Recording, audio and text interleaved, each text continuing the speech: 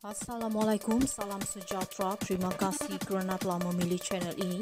Jangan lupa tekan butang like, komen, subscribe dan share untuk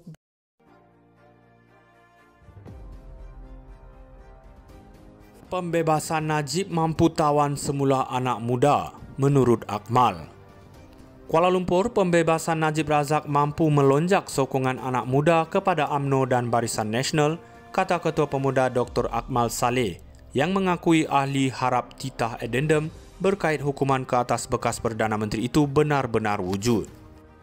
Katanya anak muda ketika ini sudah bijak menilai sama ada seseorang pemimpin benar-benar boleh berkhidmat atau sekadar cakap kosong. Semasa pemerintah Najib banyak ruang dan peluang yang diberikan kepada orang muda. Sudah tentu bila Najib bebas, sedikit sebanyak akan beri kesan terhadap sokongan orang muda terhadap parti kita. Katanya kepada media selepas sesi penggulungan Perhimpunan Agung AMNO 2024 di Pusat Dagangan Dunia Kuala Lumpur. Itu hasrat ahli AMNO Najib bebas dan itu juga hasrat pemuda untuk lihat Najib diberi keadilan sewajarnya. Pada 3 Julai lalu, Mahkamah Tinggi menolak permohonan Najib memulakan semakan kehakiman terhadap kerajaan untuk memaksa penzahiran titah addendum dikatakan dikeluarkan oleh Yang di-Pertuan Agong terdahulu, membolehkannya menjalani penahanan di rumah. Najib mula menjalani hukuman di penjara Kajang pada 23 Ogos 2022 selepas Mahkamah Persekutuan membuat keputusan mengekalkan sabitan penjara 12 tahun dan denda RM210 juta atas kesalahan salah guna kuasa, pengubahan wang haram dan pecah amanah berhubung dana SRC International berjumlah RM42 juta. Terdahulu ketika menggulung perbahasan, naik Presiden Wan Rosdi Wan Ismail menegaskan isu titah addendum bukan suatu sandiwara lebih lagi beliau dan Presiden Zaid Hamidi mengeluarkan affidavit berhubung perkara itu. Pemuda ingin bertanya kepada kerajaan, adakah benar ada addendum?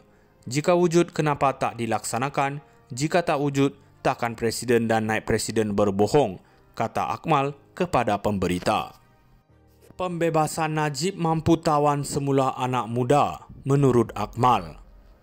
Kuala Lumpur, pembebasan Najib Razak mampu melonjak sokongan anak muda kepada AMNO dan Barisan Nasional, kata Ketua Pemuda Dr. Akmal Saleh yang mengakui ahli harap titah addendum berkait hukuman ke atas bekas Perdana Menteri itu benar-benar wujud. Katanya anak muda ketika ini sudah bijak menilai sama ada seseorang pemimpin benar-benar boleh berkhidmat atau sekadar cakap kosong. Semasa pemerintah Najib banyak ruang dan peluang yang diberikan kepada orang muda sudah tentu bila Najib bebas, sedikit sebanyak akan beri kesan terhadap sokongan orang muda terhadap parti kita. Katanya kepada media selepas sesi penggulungan Perhimpunan Agung AMNO 2024 di Pusat Dagangan Dunia Kuala Lumpur.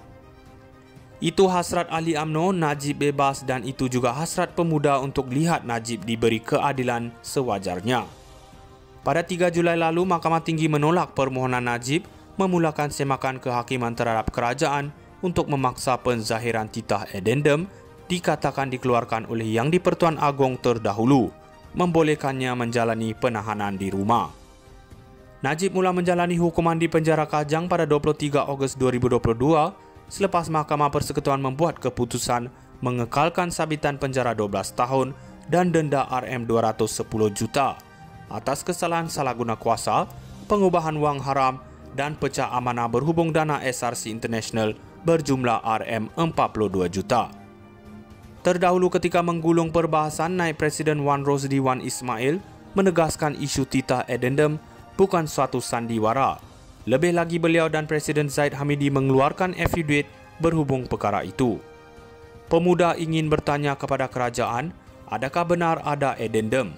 Jika wujud, kenapa tak dilaksanakan? Jika tak wujud, takkan Presiden dan Naib Presiden berbohong, kata Akmal kepada pemberita. Pembebasan Najib mampu tawan semula anak muda, menurut Akmal.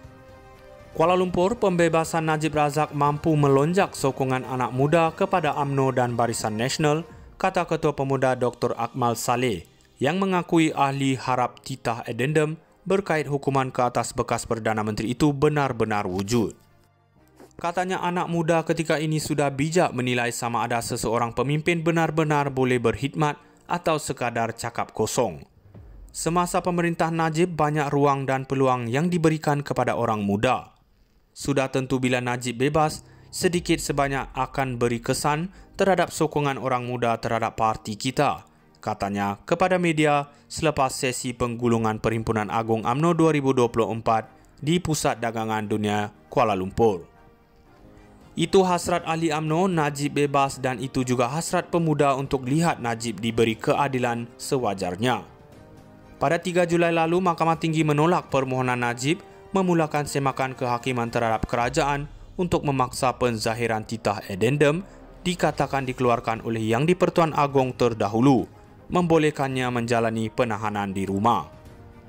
Najib mula menjalani hukuman di penjara Kajang pada 23 Ogos 2022 selepas Mahkamah Persekutuan membuat keputusan mengekalkan sabitan penjara 12 tahun dan denda RM210 juta atas kesalahan salah guna kuasa, pengubahan wang haram dan pecah amanah berhubung dana SRC International berjumlah RM42 juta. Terdahulu ketika menggulung perbahasan, naik Presiden Wan Rosdi Wan Ismail menegaskan isu titah addendum bukan suatu sandiwara lebih lagi beliau dan Presiden Zaid Hamidi mengeluarkan affidavit berhubung perkara itu. Pemuda ingin bertanya kepada kerajaan, adakah benar ada addendum? Jika wujud, kenapa tak dilaksanakan? Jika tak wujud, takkan Presiden dan Naib Presiden berbohong, kata Akmal kepada pemberita. Pembebasan Najib mampu tawan semula anak muda, menurut Akmal.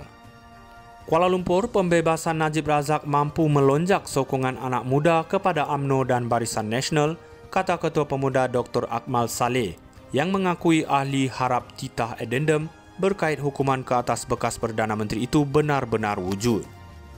Katanya anak muda ketika ini sudah bijak menilai sama ada seseorang pemimpin benar-benar boleh berkhidmat atau sekadar cakap kosong.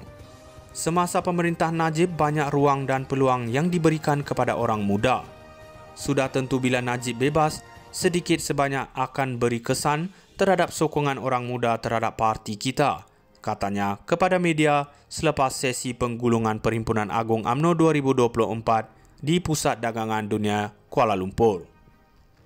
Itu hasrat ahli AMNO Najib bebas dan itu juga hasrat pemuda untuk lihat Najib diberi keadilan sewajarnya. Pada 3 Julai lalu, Mahkamah Tinggi menolak permohonan Najib memulakan semakan kehakiman terhadap kerajaan untuk memaksa penzahiran titah addendum dikatakan dikeluarkan oleh Yang di-Pertuan Agong terdahulu, membolehkannya menjalani penahanan di rumah. Najib mula menjalani hukuman di penjara Kajang pada 23 Ogos 2022 selepas Mahkamah Persekutuan membuat keputusan mengekalkan sabitan penjara 12 tahun dan denda RM210 juta atas kesalahan salah guna